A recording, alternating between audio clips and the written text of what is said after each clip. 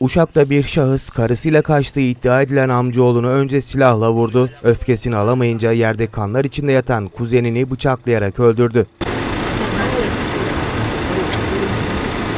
İl merkezinde yaşayan BG 15 gün önce evi terk eden eşi Berivan G için kayıp başvurusunda bulundu. BG birlikte kaçtıklarını öğrendiği karısı Berivan G ile amcaoğlu Özcan G ile Koru Park'ta karşılaştı. Sinir krizi geçiren BG kuzeni Özcan G'yi silahla vurdu. Ardından defalarca bıçakladıktan sonra olay yerinden kaçtı.